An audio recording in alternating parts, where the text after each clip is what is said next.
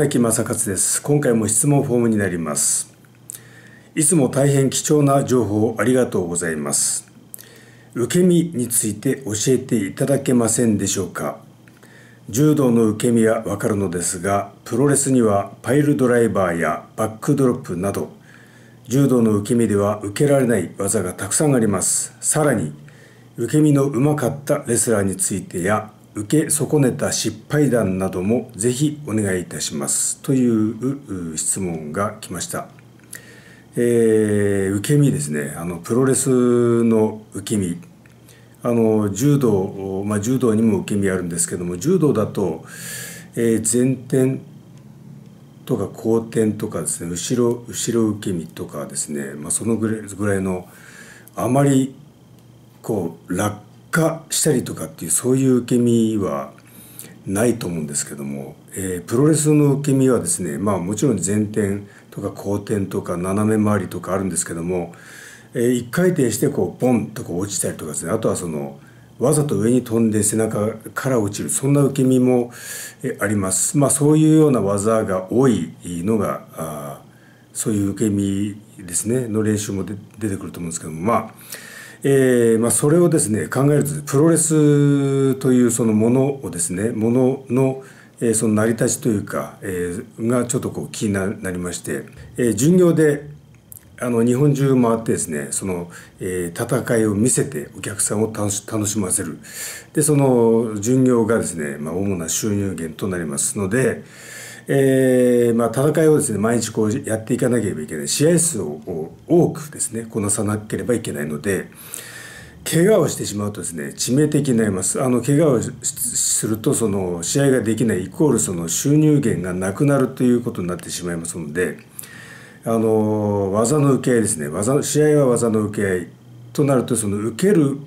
ためにはですね極力その攻撃をする側も受ける側が致命的に致命傷にならないように行うということが必要となってきます。まあ、そのためにですねあのまず受ける側もですね、まあ、選手は肉体を鍛えてその技を受けてもいい頑丈なです、ね、肉体を作る鍛えて、まあ、その作った肉体に対して攻撃をする側もその攻撃をしてかける技をかけるということなんですけど、まあ、パイルドライバーとかですね、まあ、バックドロップ。本当にあの頭からこう落とす。背中頭の付け根からですねこう落とす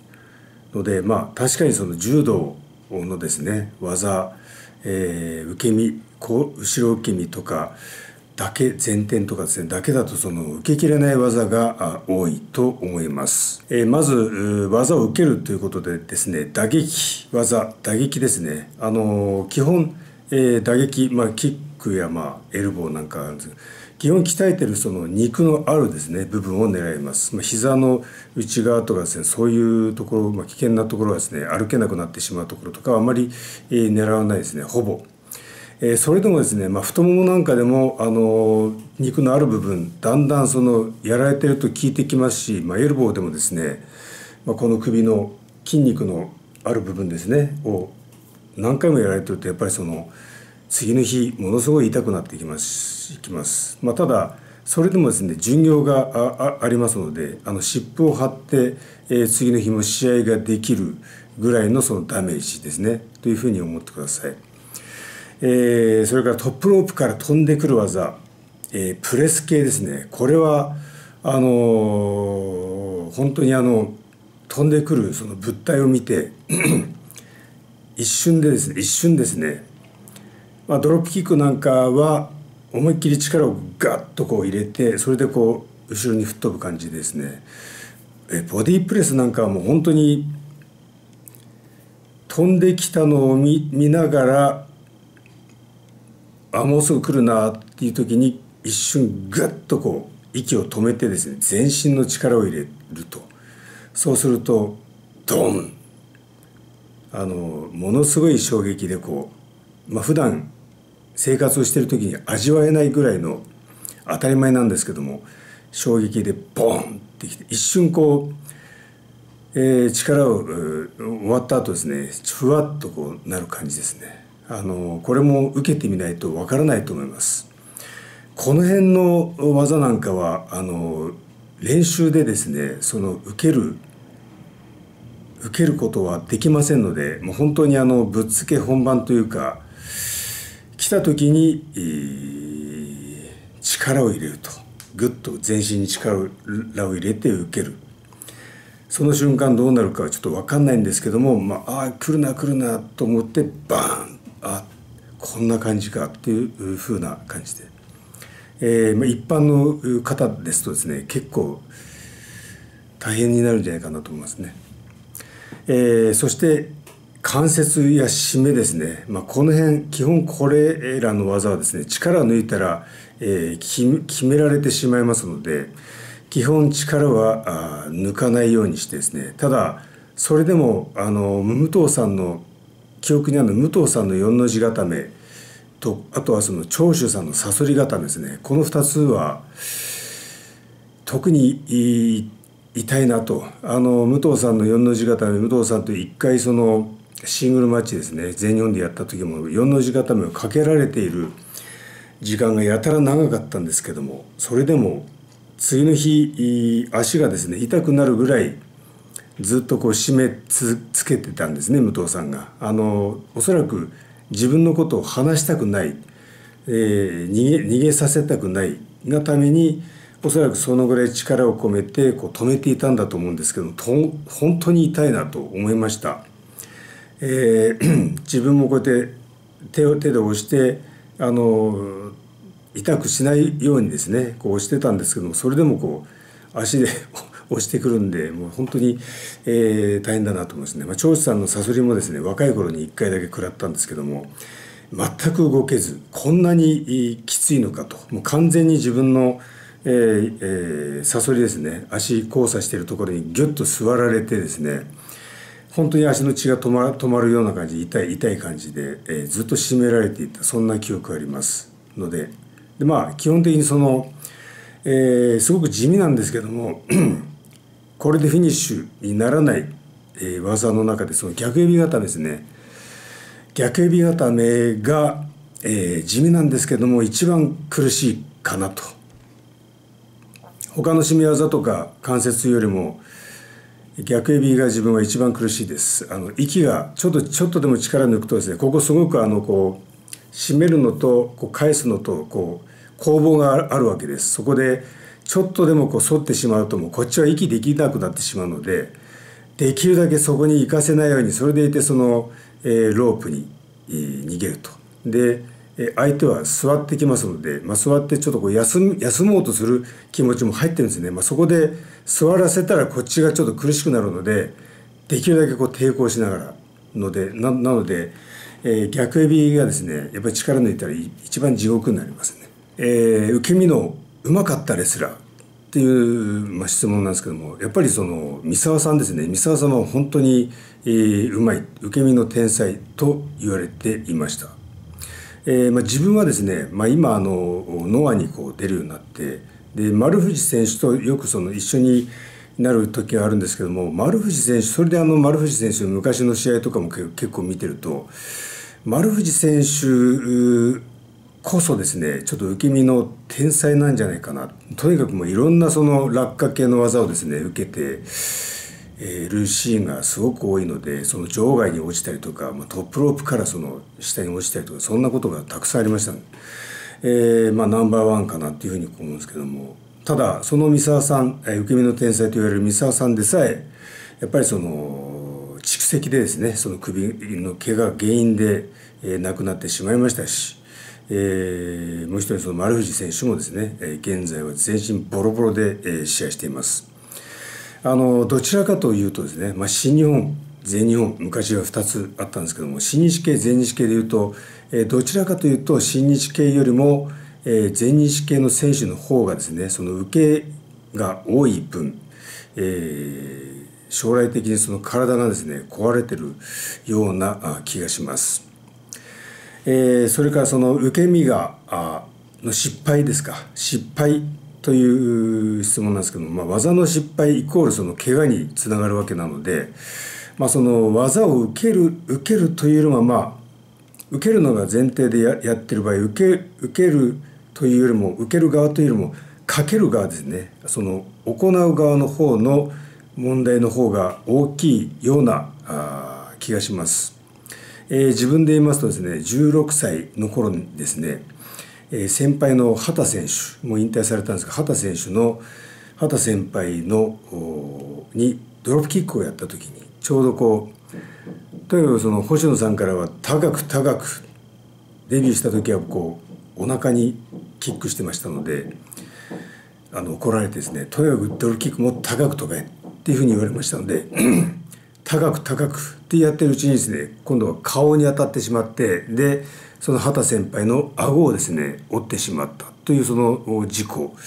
を起こしたことがあります。まあ、その、まあ、おかげというか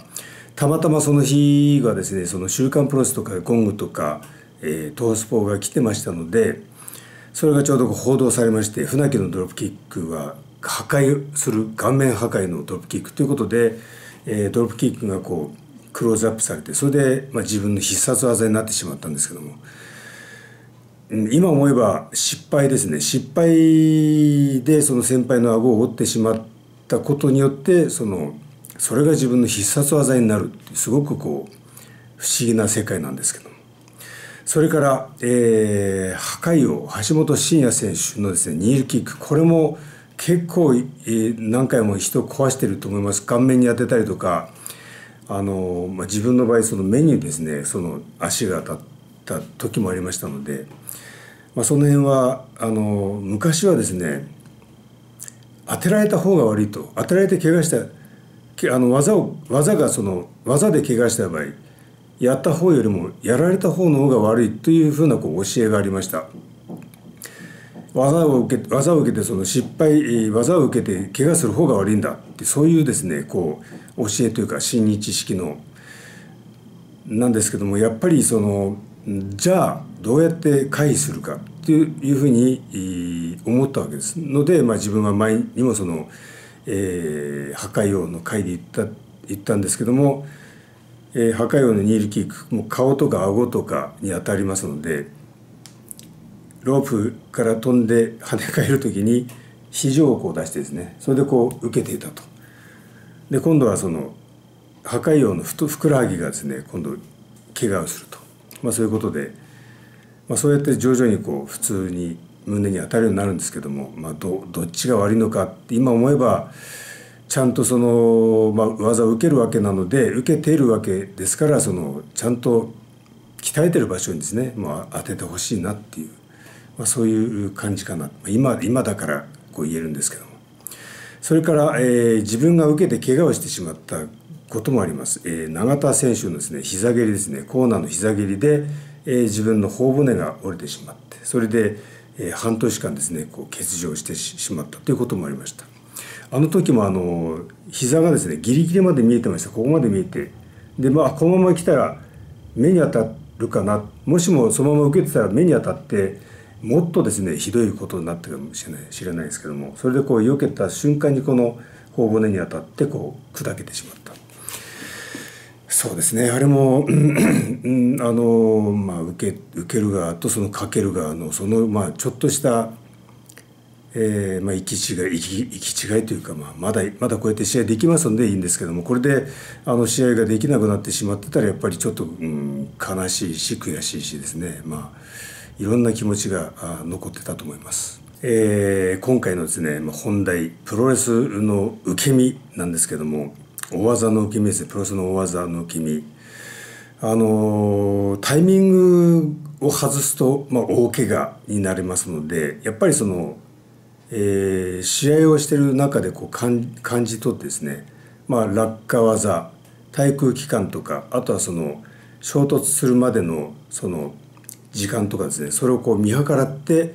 全身その当たる瞬間落ちる瞬間に全身にグッとこう力を込める。しかないですね、まあ、まあ、自分がそういうふうにこうやってるんですけども落下と衝突ですね、えーまあ、今までで一番、えーまあ、苦労したというか難しかったその受け身ですね、えー、なんですけども全日本プロレスに所属していた時に、えー、諏訪間選手のですねパワーボムえー、ラストライドっていうんですけども普通の通常のパワーボムよりももっと高くこう上げてそれでこう落とすんですけどもすごい身長も190近くありますんでそこにののの乗せられて正面ですね。そしてそこから上げられて何センチですか？もう多分2メーター半。3メーター近くなってるかもしれない。そこから落とされると。すごい対空機関なんです。ガッと持ち上げられてバッと上げられてそれでさーさーってボーンですね。あのその感じがですね最初は全く分からず。ただただこの振り回されて気が付いたらボーン。毎回頭を打ったりとか。で、えー、まああるある選手に聞いたら「あれどうやって受け身取ったらいいんですかね?」って「力を抜けばいいんです」ふわっと 抜けばいいんです。今度力抜いたら今度頭をもっと思いっきり打ってですね。これはどうしようかなと思って、まあ、最終的にその上げられて落とされる上げられて落とされる、まあ、それをずっとこう何回も繰り返しているうちにタイミングが分かったんですね。諏訪間選手のバッドンその1秒あるかないかぐらいのその空間ですね。そこで、えー、こう自分で目をつぶってこう映像を作るんです。そしてそろそろ落ちるかなっていう時にガッとこう力を込める。そうするとダメージがですね少し半減されるようになりました、まあ、それこそがやっぱりタイミングとインパクトにインパクト時の力ですかね。全身の力。それがうん受け身かなっていうふうにこう思いましたね。あのまあ、プロレスの技はやっぱりその落下とこう衝突ですねがすごく多いので、えー、受け身受け身というのはその落下と衝突に対して全身に力を込めるという方が正しいような気がします。まあ、それだけですねあの一瞬のそのダメージ体に対するダメージがものすごくありますので、まあ、一般の人たちがそれを受けるとおそらくまあ失神したりとかですねどっかの骨が折れたりとか、まあ、脳震盪を起こしたりとかすることになると思います。えー、巡業で巡業を行うとすごくよくわかるんですけどもやっぱりその受け身大技の受け身というのは毎日その練習するわけにはいきいきませんのであの巡業1日目2日目ぐらいですごいこう体の筋肉痛がきますね、まあ、首とかですね、まあ、背中とか、まあ、その辺が一番ダメージきてるのかと思います。まあそれでも後半になると全くその辺の筋肉痛も取れてそれでこう受け身をしても普通になってくるんです。慣れるんです。慣れというかもう麻痺してるんですかね、まあ、そんな感じでこう巡業こう回ってるんですけども、えー、落下と衝突に耐えられる体こそがプロレスの受け身かな？受け身。受け身。受け入れる身ですね。受け入れる身。その体ですね。丈夫な体こそが受け身なのかなっていうふうに思いますね。あのまあ、イコール大あの丈夫な体を持つ選手がですね長くプロレスを、えー、続けていけることだということになります。こんな感じでよろしいんでしょうか？あの一応あの自分なりのそのプロレスの受け身をちょっと今日は語ってみました。ご視聴ありがとうございました。